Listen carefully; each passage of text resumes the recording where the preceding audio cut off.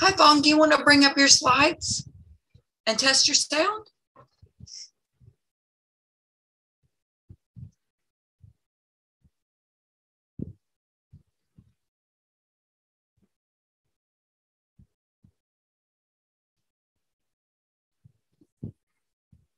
He'll be right back in just a minute.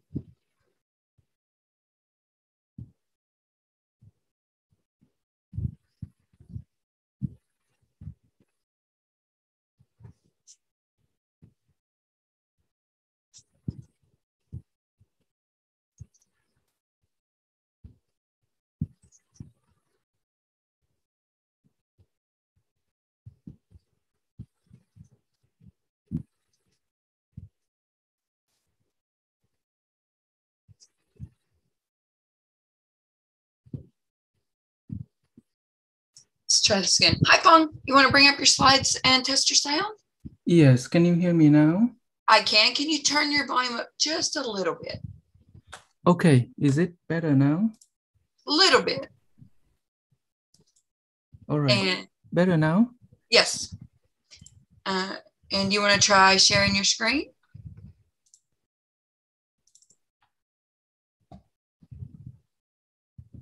Try this again. Hi, Pong. You want to bring up your slides and test your sound?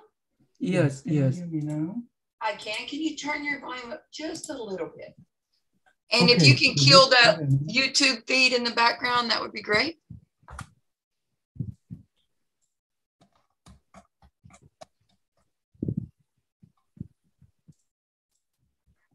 And I Hi, can see- everyone. Can you uh, see my screen? Yes, we can.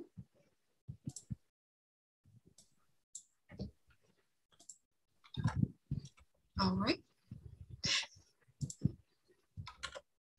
Thanks everyone for joining Zeek Week Day Two, SOC Professionals and Zeek User Day.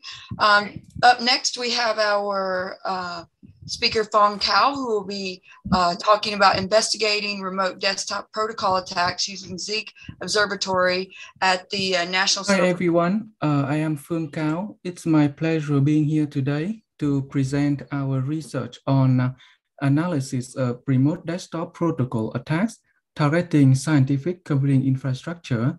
So this is a joint work with my college at the uh, National Center for Supercomputing Application. First, uh, let me uh, let me give you a uh, quick uh, overview of NCSA. So NCSA is a major scientific com- computing infrastructure um, hosting the Blue Water computer, as well as the petabyte of data from our science and industry partner. Those has enabled major scientific discovery in genomic security and astrophysics. So this is also a reason that NCSA um, is a major target for the attacker. So since the start of the pandemic, we have seen an increase in remote work across different protocols like SSH, VPN, and in this case, the remote desktop protocol, RDP. Um, we have seen um, an increase of more than 41% um, since March of last year. And uh, because we have the, uh, a good, a very comprehensive Zeek installation, it allows us to pick into the RDP activity and look at the RDP logs that we have. So in total, we have uh, collected more than 800, um, 800,000 of the RDP activity. Many of them are the attack attempts. And I will give you a, uh brief overview of the data in a moment. So um, in this figure, I'm showing a, a very brief overview of the remote desktop protocol uh, in which a client established a connection to the server. So the majority of the remote desktop protocol would be encrypted after the initial handshake and exchange of the security information. So we don't have further visibility into that. And um, I am aware of a, solution by Zeek to have the deeper inference into encrypted traffic. Uh, but here, what I'm trying to do um, is to look at the kind of uh, metadata of the traffic, look at the timing of the connection in order to identify the behavior of the attacker in terms of distinguishing whether an attacker is bot or whether an attacker is human. So the data set that I am looking at here um, is a data set provided by our Zeek log um, targeting the NCSA host uh, in the IP address range of 141.142. And each record here contains the time, um, source, source IP, destination IP, the port, um, the kind of protocol being used here. Many of them are encrypted. And also the cookie that can be used to identify the RDP client. So those are the major um, field in the protocol. And given this kind of data, um, really, we want to answer um, three major research questions. The first question is that, um, what is the distribution of attack attempt targeting the server at NCSA? Whether they are focusing on only one server or are they scanning the entire network to find the um, series of open server? If it is a targeted attack against one server, then it should, should be closely monitored. The second question we want to ask is that what are the characteristic of the attackers in terms of the behavior? So here we focus on distinguishing between bot and human because we assume that the kind of attack by bot would be um, automated, repetitive, and less sophisticated. So there are many of them, and uh, we don't have enough resources to follow each of them. But on the other hand, if there's a human-based attack that is specifically target one server, then they should be low and slow to avoid the detection and to have a low profile, as well as we would expect certain element of interaction between the human with the server. And the intuition here for us to uh, analyze this data is to look at the um, identifying features um, to distinguish between the two. Specifically, we look at the inter-arrival time between the attack attempt. So by measuring the distribution and the mean between those inter-arrival time, we can determine whether an attack is a fixed periodicity or there is some random um, element in each of the attack attempt. And I think the key important here is that how do we quantify um, the confidence of our finding when analyze such a data set. Because if you give a piece of data to a security analyst and the same piece of data to another, you may get a slightly different answer. And that's fine because each of them may be subjective and have a different experience with the data. So here we want to, um, to provide our confidence in terms of uh, statistical hypothesis testing which I will talk um, in the next few slides. Um, so first, uh, let me give you a brief overview of the data um, over time. So in this figure, it shows the um, correlation um, of the uh, RDP activity month over month. So on average, we have about 15,000 of RDP activities every month. And in this figure, I have overlay um, the major um, CVE and the major attack in RDP protocol in this year for your reference. For example, in January and February, we have disclosure of a security feature bypassed, followed by a series of um, UDP amplif amplification attack to leverage um, um, RDP server with an open port to attack other system. And follow that, we see a major spike in activity in March um, similarly, in July, there's a disclosed remote code execution, and we also see an, a slight increase of activity in August.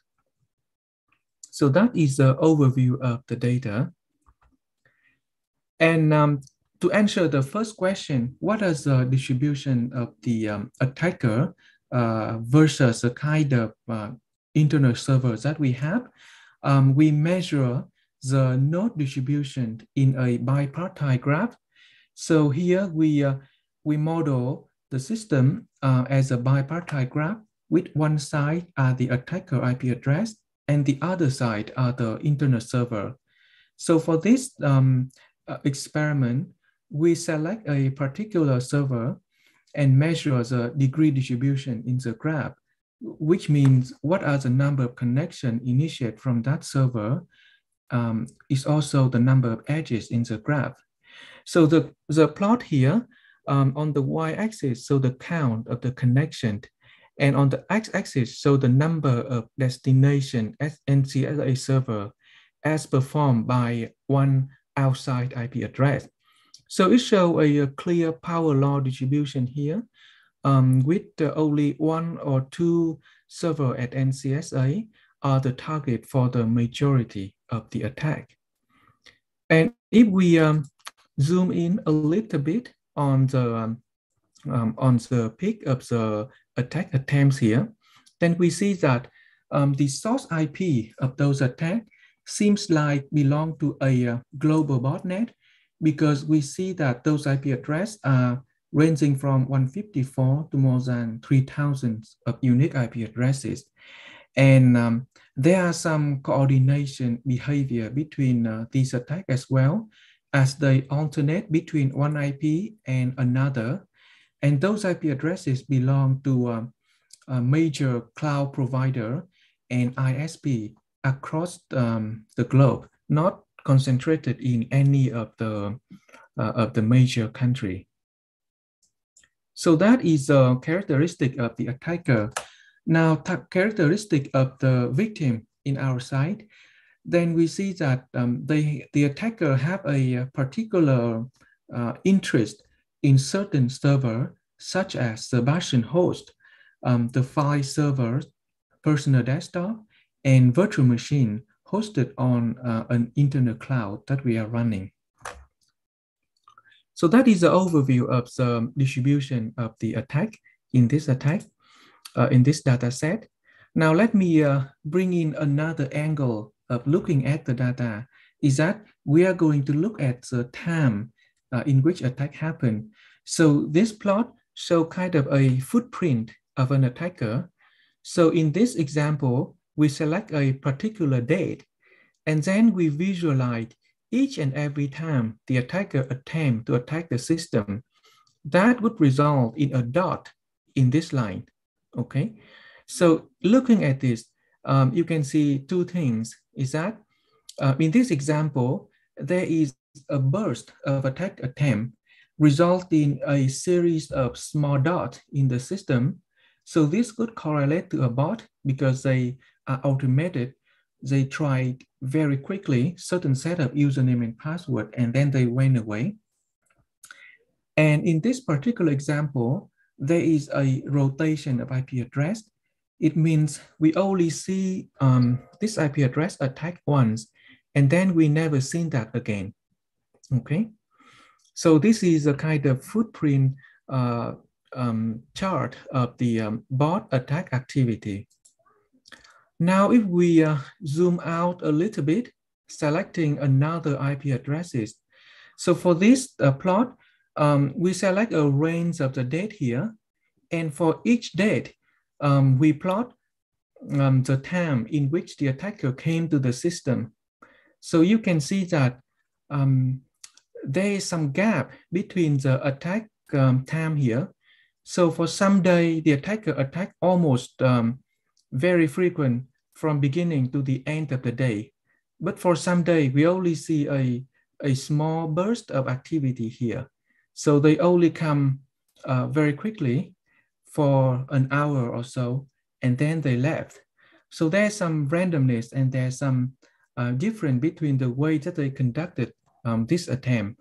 So this could be an indication of a human-driven attack or a human employ um, a bot in combination with their interactive attack. So those are the um, those are the kind of exploratory data analysis that give us um, some intuition about how the data look like.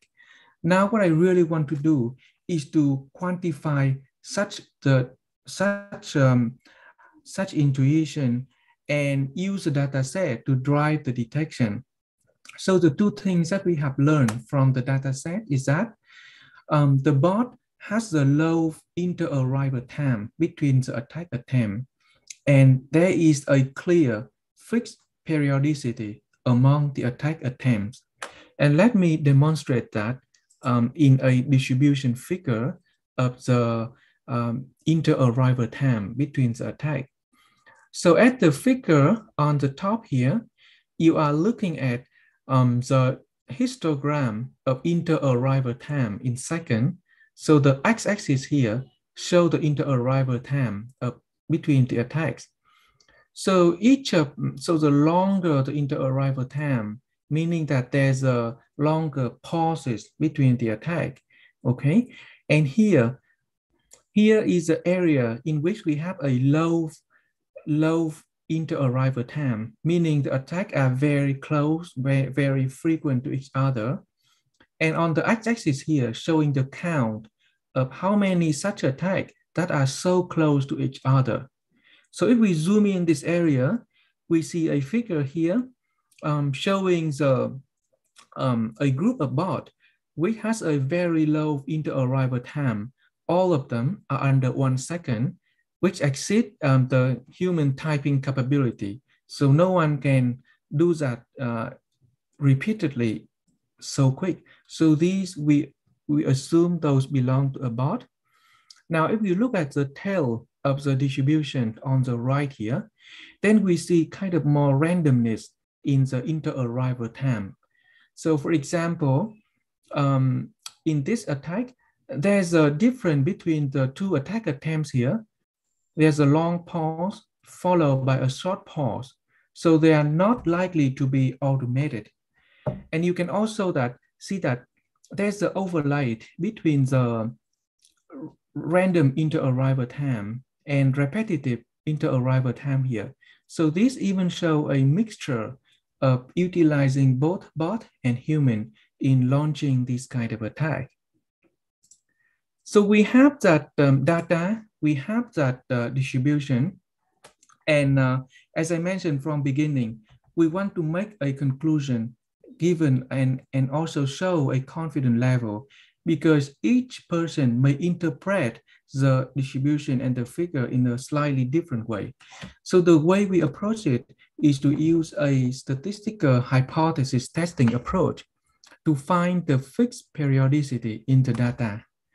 So the null hypothesis here is that an IP address does not repeatedly attacking the system with a fixed periodicity. The alternative hypothesis is that an IP address indeed does attack the system repeatedly with a fixed periodicity. And the test that we are going to run here is the Durbin-Watson test on a time series of data. So the test would give us the likelihood of the null hypothesis being true on the data of attack timestamp. So to give you an example of how the attack, uh, how the test work, um, we are looking at um, two samples of the attack timestamp here, which are relative to the first observed attack. So on the right here, you can see a series of attack timestamp. Um, they are not exactly 100% uh, have the fixed periodicity, but you can see there's an interval here of about 100 seconds between each of the attack attempt. So the intuition here is that what kind of conclusion can you give if you have only three data point or 10 data point or 100 data point? So the test here will give you the confidence level of the, mm, of the null hypothesis. And in this case, we are very confident that this is a bot and um, resulting in a very low p-value.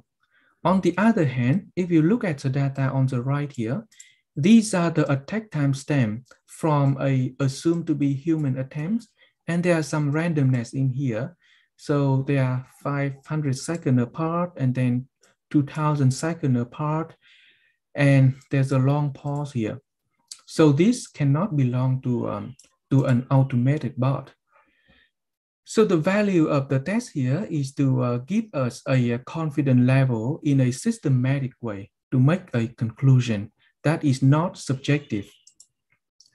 So in summary, um, I have presented the analysis on the RDP attack against the NCSA infrastructure.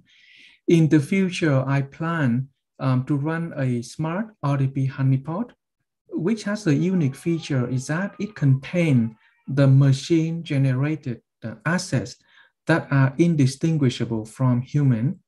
And using this, we can monitor the interactive attack session and command, and then be able to deploy this at a large scale to collect um, even more data on the attack. And uh, thank you for, for attending my talk today. If you have any question, then I can look at Slack and you can also email me. so thank you. Uh, thank you so much for your talk. Uh, any question?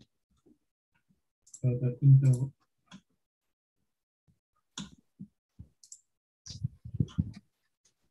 to collect um, even more data on